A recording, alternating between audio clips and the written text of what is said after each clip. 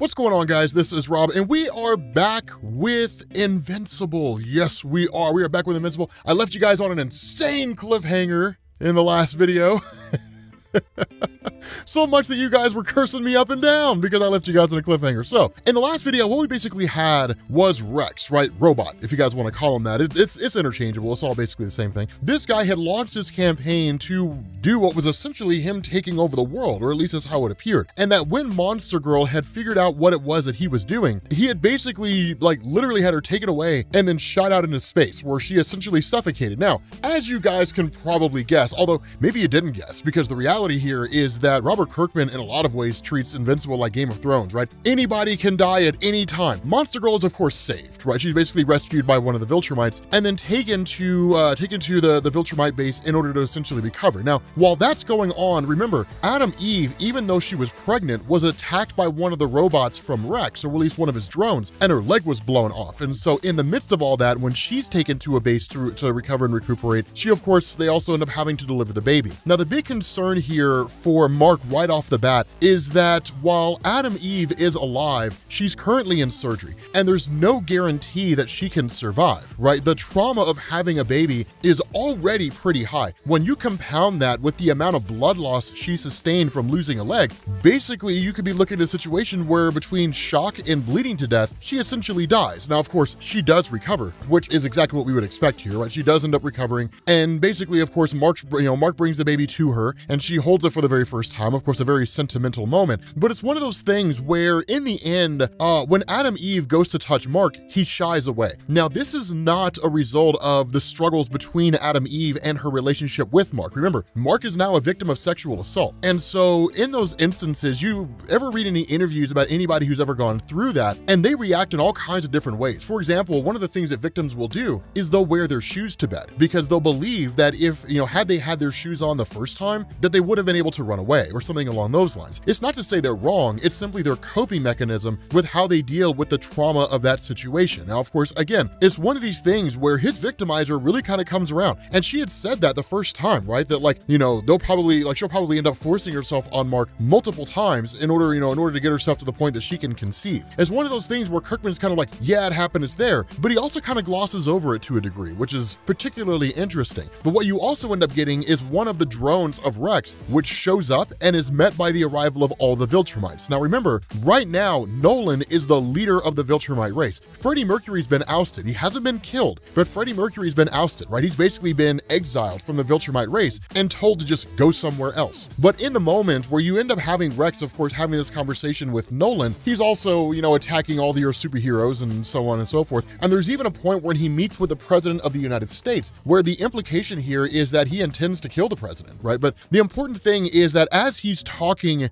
uh, with with Nolan, he basically says like we should work together, right? It's one of those things where it's kind of interesting because he says, "I believe you have found yourself working at cross purposes. Your main objective is to live here in peace and to produce offspring with humans in secret to pull your people from the brink of extinction." And to compound that, right, Rex goes as far as to say, "And yet you want to stop me here, right? I'm sure your your scientists have already pointed out how diminished your gene pool is with your dwindling ranks. Do you really want to risk losing more in a fight with me?" And that's what's interesting because he says, "Were you to oppose me, I have no doubt you would succeed. You would take over this entire planet easily, but again, not without losing some of your own. So a fight is unwise for both of us, and I have no desire to fight you. My ultimate goal is to create a utopian society on Earth, to do away with all the danger and turmoil that takes place there regularly. So to create a perfect breeding ground, I propose we work together. And that's the interesting thing here, right? Because one of the things to keep in mind, and we'll talk about this more as we get further into the story, that Robot's motivation here is not so basic as to just like plant himself as a dictator of the world. What he's shooting for is something a lot more interesting and more philosophical and something that we've routinely talked about. And so we don't necessarily see the nature of the conversation beyond that between Robot and the Viltrumites. Instead, once Mark arrives on the scene, the,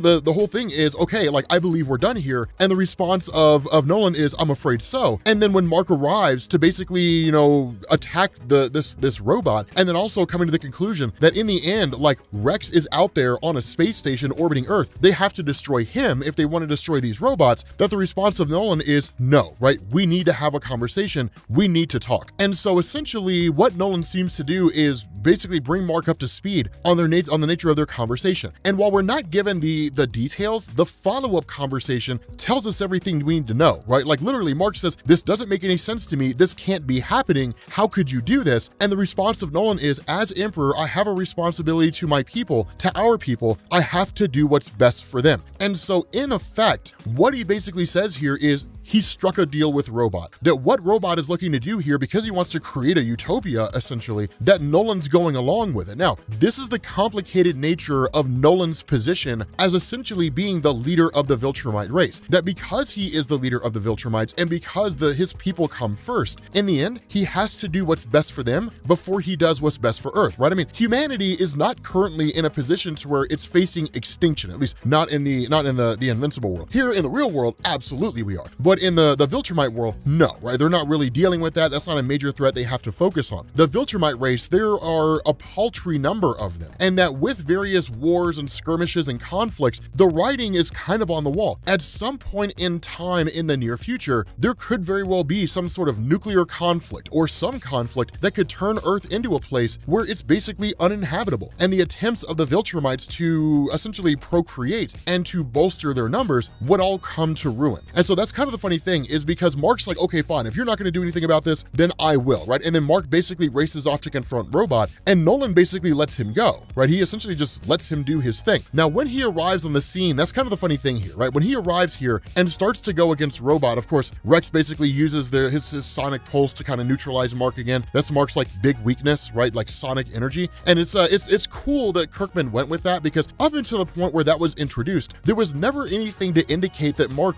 really had an actual weakness, right? That Mark had some kind of an Achilles heel. He was just a hybrid between a human and a Viltrumite who would just consistently get stronger after every battle he fought until such a point that he would basically be this unstoppable force, right? So it's cool to know that the Viltrumites themselves actually have a weakness that can be exploited. And so it's one of those things where literally like when a, a, where Mark kind of tries to fight a little bit, the response of Rex is, look, man, you haven't even defeated one of me, yet alone like all these versions of me, right? Like I have built these robots in order to confront you, right? You're the most powerful of us. So these robots have to be able to overcome you. And if they can overcome you or at least stand against you, they can stand against anybody else, right? So like you're the bar, you're the standard. You can't defeat one. How could you possibly hope to defeat dozens? And so it's just like at that point, all these robots just literally start coming out of nowhere. And it's like, let's have a conversation, right? Let's talk about this. And so this is a really, really cool thing here, right? Because in this conversation that they have, Rex says, like, I have to begin by pointing out the hypocrisy of you opposing me. How different is what I'm doing any different than what you and Dinosaurus attempted to do? And then Mark, of course, responds exactly how you would expect, right? We only did things to make people's lives better. We didn't try to take over the world. And the response of Rex is, and that's why you failed, right? You left too many variables in play. Your methods never had any chance of succeeding. But why won't you work with me the same way you did with him? I've killed far fewer people than Dinosaurus or your father, and yet you view me differently. Is it really just because of what I did to you personally? I stranded you in another dimension. I ripped off your girlfriend's leg. Would an apology work? that kind of a thing, right? Trying to understand. And it's kind of funny because Rex says, like, I could have killed you. I could have killed Eve, but I didn't. I'm not a different person suddenly, right? I'm not some kind of a monster. I didn't kill anybody that I didn't have to. I don't want to kill you. And he says, like, I like you, right? Like, I'd send you back to that dimension if the machine I constructed didn't require lingering energy from Angstrom Levy to work. Did you figure that out yet? Seems those doorways died with him. So basically, the ability to travel from one dimension to the next by way of the technology that Angstrom Levy left behind is all basically gone. This is Robert Kirkman tying up loose ends, right? This is Robert Kirkman wrapping things up. I mean, that's one of the things I hope you guys have noticed with this comic so far is it's basically Robert Kirkman killing off what's left of the superhero community, right? Like all these different people who were there, reducing the number of superheroes who were out there, right? In turn, reducing or eliminating the ability to travel to different dimensions. In effect, he's closing the walls in. And so when Mark says like, stop this madness, the response of Rex is like, like what madness are you talking about? I've assumed control of over 100 law enforcement agencies worldwide. In the six hours since that happened, I've prevented over 9,000 deaths. I've already put systems in place that are changing the way crime is fought. He says, I've already incarcerated Titan, Slaying Mantis, Mauler, and Embrace, criminals who'd been at large for months. Stopping this madness would cost lives, not save them. So I'm asking, why aren't you willing to stay with me? Now, this is when Mark basically comes out with the kind of big guns and says, I'm, I'm basically fighting a crazy person trying to take over the world. And that's where Rex like, is that really what you think this is? Me trying to take over the world? Like, I have no desire to take over the world, Mark. And he says, I've assumed control, and that control will expand as needed, True, but no one here knows what I've done. The public at large, they'll only ever see an improvement in their lives. They'll see a substantive change in their quality of life and the way the world works nothing more. I will not put a face on those differences. There will be no one person to receive blame or credit. And he says, in a way, I've improved on what I did with the Flaxan Dimension. I'm fixing things from behind the curtain. If you somehow fought and killed me, you'd be executed for what you'd done. I'm the good guy here, Mark, right? If that's the simplified way you want to look at things. And he says, you know what this is? You know the reason why you're so against it, Mark, is because this is new. It's a new way of doing things, of fighting evil, of saving the world and it's messy and it's imperfect, but it's effective. But most of all,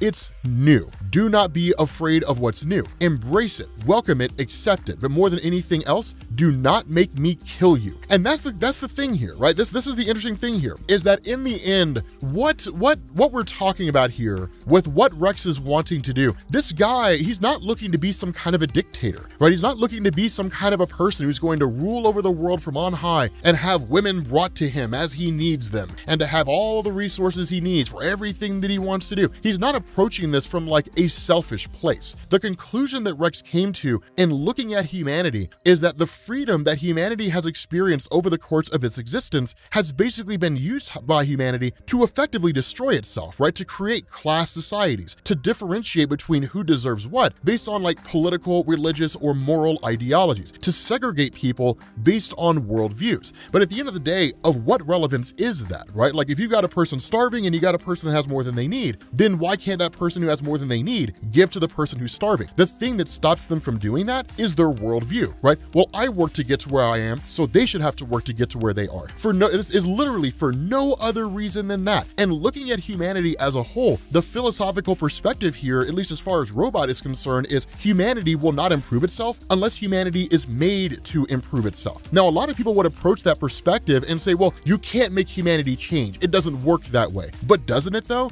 Like usually if you're, whenever you're talking about humanity experiencing market improvements, it comes after conflict, right? Take, for example, like the post World War II landscape, the development of atomic energy, and then the development of like microwaves and things like that, right? The ability to use technology as it existed to basically expand humanity out in ways that were never thought possible. This is no different. The difference here is that it's one person making the decision as opposed to groups of people making the decision. But if everything that's happened with humanity over the course of its existence and the violence and all that kind of stuff that comes with it is the result of groups of people making decisions, then can you really make a credible argument that it should stay that way? Especially when you're talking about a person with a higher level of intelligence, a person who is by and large, regardless of how he may look, nothing more than just an algorithm, and then in turn going forward from there, right? That in a lot of ways, I don't know how many of you guys ever read World War Z, but the statement of Paul Redeker is the most absolute and, and really the best way to depict this here. Imagine what the human race could achieve if it would but set aside its own humanity. And so it's one of those really, really cool elements, right? It's one of the things that I love about this. But the funny thing is that even in the face of all of this, of, of, of what he's doing, the difficulty in Rex's decision comes by way of the fact that he's got all these memories and all these experiences with these people that he's fought alongside. When he fought alongside his teammates, when they were younger, when they eventually became part of the Guardians of the Globe, or at least replaced the Guardians of the Globe, right? When the original Rex Splode died, and Rex said, in order to honor his memory, I will take his name and fight crime in his name. That way, at least some piece of him can continue on. This idea that when he was talking to Monster Girl and simply saying, like, I don't want to become the person who killed the Zaxels the way that I did, right? I don't want to become this dark and violent and horrible person. He's kind of conflicted in that way. But the reality is, seemingly, he's making the right call, that he's killed superheroes superheroes that he once called friends. But the truth about it is that superheroes exist to maintain the status quo. Superheroes exist to look around at the world as it exists and to keep it that way. Whereas Rex's job, and at least the, the, the job he's undertaken on his own, is to look around at the world as it is and to say, the world can be better. And if humanity doesn't want to make it better, then I will make humanity make it better. And that those superheroes who exist out there, because the nature of them is to maintain the status quo, they would ultimately get in the way. And in the face of that, they had to removed from the equation. Otherwise, progress could never happen. So it's an interesting concept, right? It's really, really cool. I mean, this is where the story ends, right? This is, you know, where he's basically mulling over all his experiences and all that kind of stuff.